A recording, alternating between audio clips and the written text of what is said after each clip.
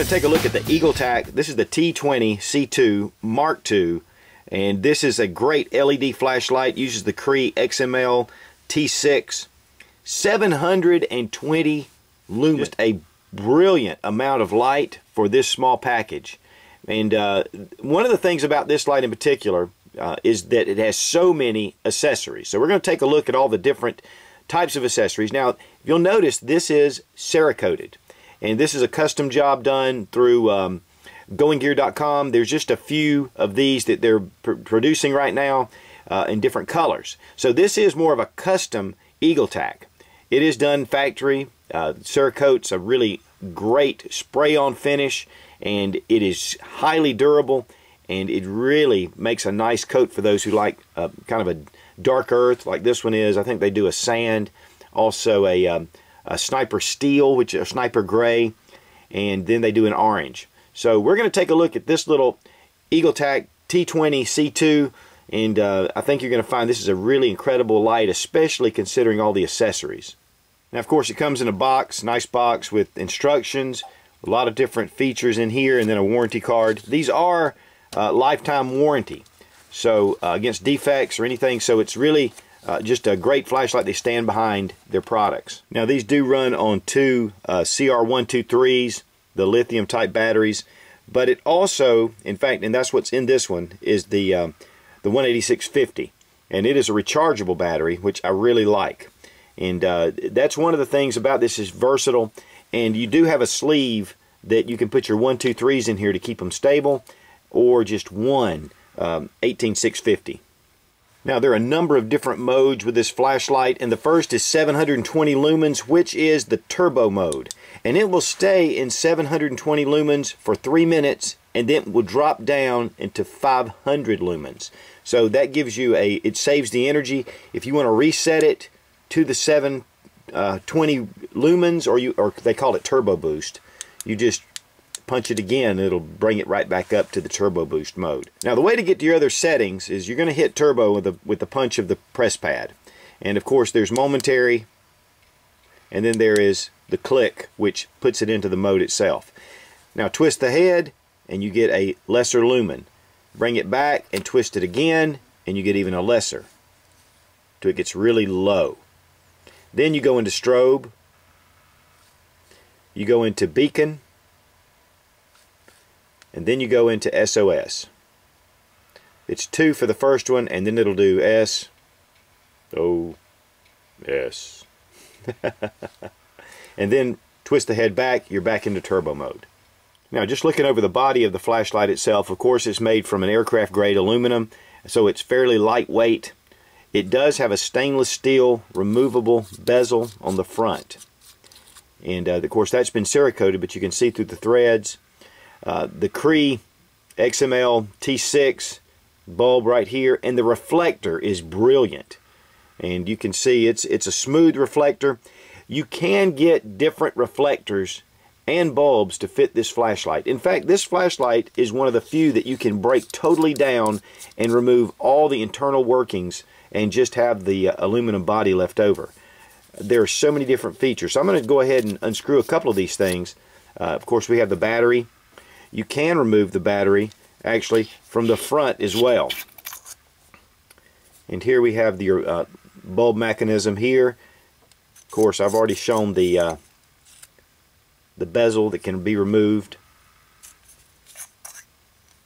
You can remove, this is the glass lens, which the glass lens is a, um, it's a Syntax AR coated, so it's really a, a very high quality, uh, state-of-the-art lens.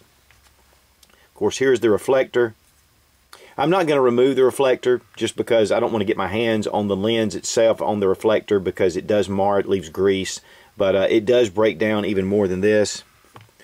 And here you can see it's just the body is just separate now. You can also, this ring lifts up to remove your clip. It will come all the way off. There is a gasket that rolls around here, but of course your clip is removable. Here you have your cigar band tactical uh, holder that also keeps it from rolling. And we're going to take a look at that in a minute with the accessories. This can be removed as well.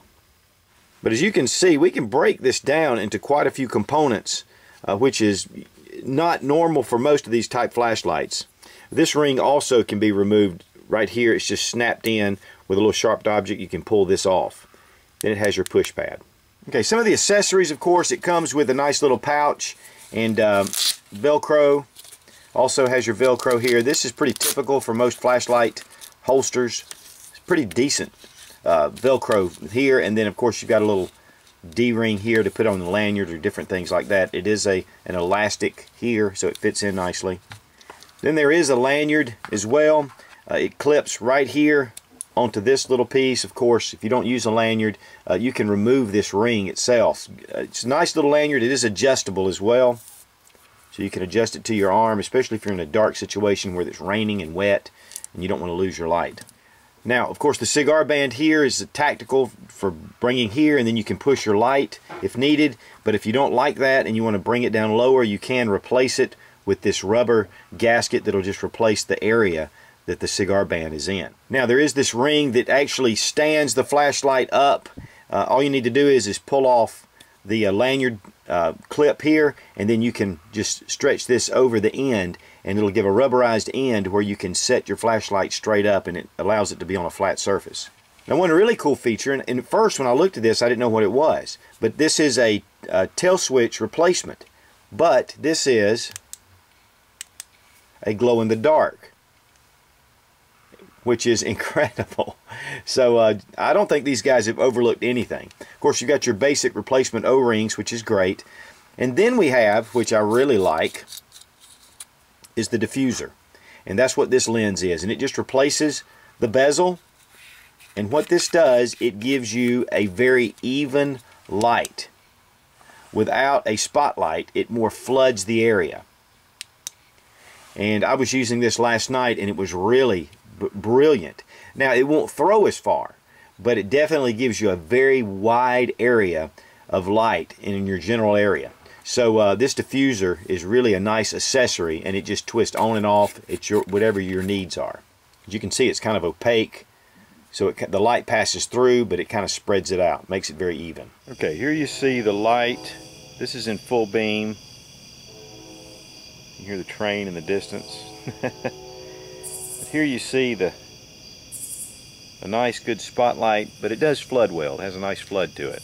Now here it is with the diffuser and as you can see it is a really nice even uh, flood and there's no spotlight necessarily it just has a nice good flood even in the woods out toward the trees now one thing about having without the diffuser is you're going to get a lot of distance your throw is going to be a lot greater so if I really want to pinpoint something way down uh, without the diffuser is actually going to be a little bit better. The runtime on these with a, a, fully charged battery in turbo mode, uh, uh then with the drop down after three minutes to 500 lumens is 1.2 hours. And then you go to 10 hours in the next setting and then down to 100 hours in the lowest setting. Of course, this EagleTac T20 C2 Mark II is available at goinggear.com uh, this custom finish, though, is a limited run. So if you're really wanting to get something like this, uh, you probably want to order it sooner than later. They run $89.99, and of course you get a 10% discount using Sootch in the coupon code, which makes it really nice. Now this is the way the flashlight would come typically uh, if you just ordered it in, in the normal mode. It comes with a hard anodized finish with EagleTac on the side and the model number on the other side. So if you really like more of a tactical uh, Cerakote finish, which I, in fact, I picked this one out particularly just because I really like the dark earth. This is it makes also a great weapons light, and if you uh, there are accessories to be able to put, um, you know, a touch a press pad to put on your rifle, and also you can put this with standard rings with different attachments. In fact, you can get a lot of that at Going Gear as well. This is shock proof and uh, you know you will be able to use it in a tactical type uh, environment on a firearm.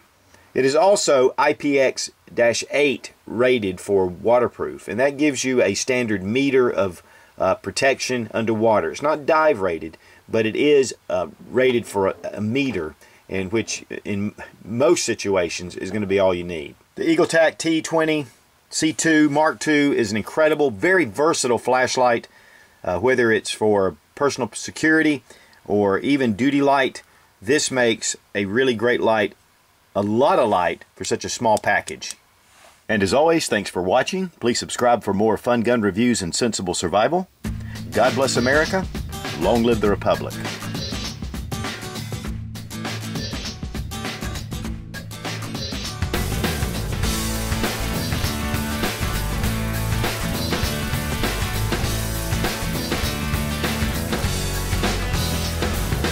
Today we're taking a look at the Eagle Tac, and this is the T2. I don't know if you smoke a cigar. This big old bright light in your face. I can't even see the end of it.